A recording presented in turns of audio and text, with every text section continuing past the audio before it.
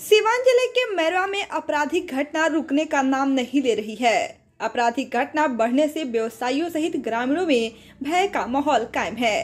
इसी गाड़ी में मैरवा थाना क्षेत्र के डोमडीह पुल के समीप दो बाइक पर सवार चार की संख्या में अपराधियों ने एक बाइक सवार को चाकू मारकर अपाची बाइक और मोबाइल की छिनताई कर मैरवा के तरफ़ फरार हो गए। अपराधियों ने युवक को पीठ में चाकू मारा है। घायल जीरादेई थाना क्षेत्र के रुइया बंगरा गाँव के रामाशंकर राजभर के पुत्र राकेश कुमार है। स्थानीय लोगों की मदद से घायल को मैरवा के रेफरल अस्पताल में इलाज के लिए भर्ती कराया गया, जहाँ वह इलाजरत है। सूचना पर पुलिस अस्पताल पहुंचकर घायल से पूछताछ कर रही है। वहीं परिजनों को सूचना मिलने पर अस्पताल में लोगों की भीड़ उमड़ पड़ी।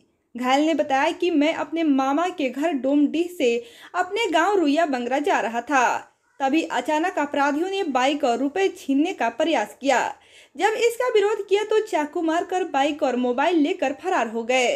अब देखना है कि मरवा पुलिस इन अज्ञात अपराधियों तक कब तक पहुँच पाती है और गिरफ़्तार कर कब तक जेल के सलाखों के पीछे भेजने का काम करती है।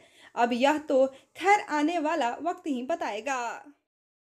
ये जो चकबाजी की घटना घटी है कैसे घटी? अच्छा तो नंदलाल की पर्ची है हाँ? इनके पत्रकार है ये जो घटना घटी है कैसे घटी है चकबाजी की?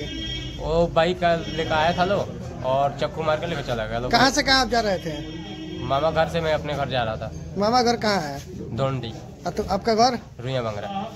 डोमडी से रुइया बांग्ला जा रहे थे। ये कहाँ पे घटना चकबाजी घटी है?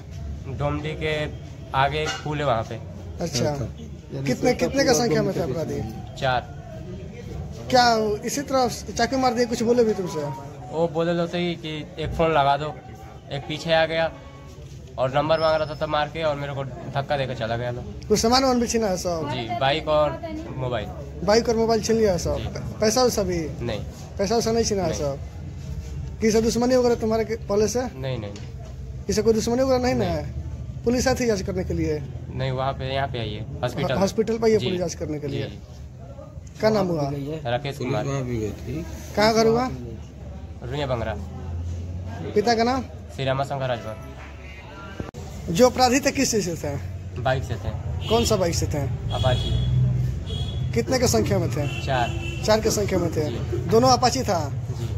नंबर नंबर कुछ पता चला है बाइक का? नहीं। नया बाइक था नया बाइक था। भैया नंबर प्लेट के।